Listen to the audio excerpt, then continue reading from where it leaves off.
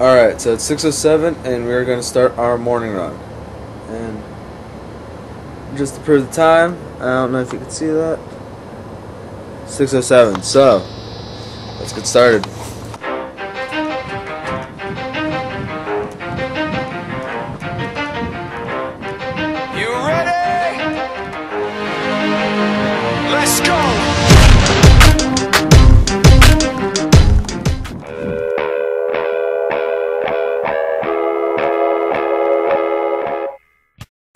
So we are here with Coach Schnier, the men's head track coach. Right. And so, Coach Schnier, were you once a student athlete? I was, uh, Ryan, but it's been a long time. Uh, it's 1963 to 1966. All right. How long have you been a coach? Uh, this is my 43rd year of coaching. 43rd. So, being a student athlete way back when, what did you find it hard to be a student and an athlete at the same time? Well, um, that's all I knew, so it didn't seem hard or easy. That's just what I did. I think the same is true for most of you folks today. Uh, at that time, in the 1960s, and I also went to a Division three school, uh, which now Division three.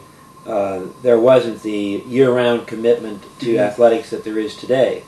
So there's been a, a shift in the emphasis on athletics and the expectation of a student athlete from my time to this time. But uh, in actuality, most of the things continue to be the same. All right. During uh, different events, like in track or cross country, how do you communicate with your athletes? Well, during the event, it's a lot more easy to communicate than often in practice. So, for instance, in practice, if we go on a road run, Mhm. uh, I watch them go out and I might watch them come back, and that's all I see. And, and there's not much coaching going on or um, involvement on my part.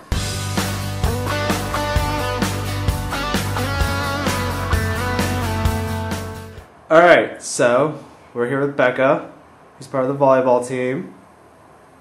Why volleyball? Well, I really like volleyball. What position are you in volleyball? I'm the middle blocker position. And for most people, can you explain that?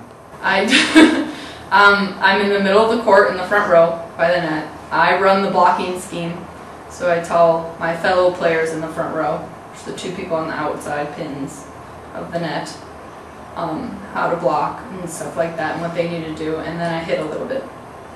And for normal when you're in season, how many hours? Um, that will probably be about three hour practices every day during the week, and then we travel. We usually have games Friday and Sunday, so we'll travel, or Saturday and Sunday, so we'll travel on the weekends. How's your priorities go between school, social life, and athletics? Social life is pretty much at an all time low. So I really don't talk to anyone but my teammates because when I'm not in practice or sleeping, I'm usually doing schoolwork or going to class or traveling. So the priorities would probably be volleyball, then school, then social life.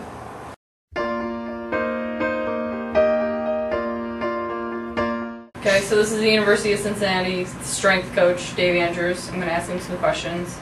Okay, Dave, did being a college athlete prepare you well for the real world? Uh, being a college athlete, not only my upbringing, uh, growing up in, I guess, a farm community where uh, you're taught to work, uh, that obviously transferred uh, into college athletics. You know, being time efficient, uh, learning how to work with others um, in a team environment, absolutely prepares you for the real world. More or less, you know, you see a lot of kids with time management issues that aren't busy. Uh, the athletes are special uh, because they can balance time and work with others uh, to get to a common goal. Um, what skills do you try to instill in the student athletes you deal with now? You know, I think uh, you know I talk to my kids all the time about attention to detail, which means uh, working on what you're trained, uh, what what your trainer is coaching you up on. So the attention to detail and hard work are the two main items I work on. Um, so I either tell them uh, you're stupid or you don't care, one of the two. Um, so you know, for the most part, I keep keep trying to nail that in. Um, and you know the kids do a great job once they understand what you're looking for. And now we're finishing up our run.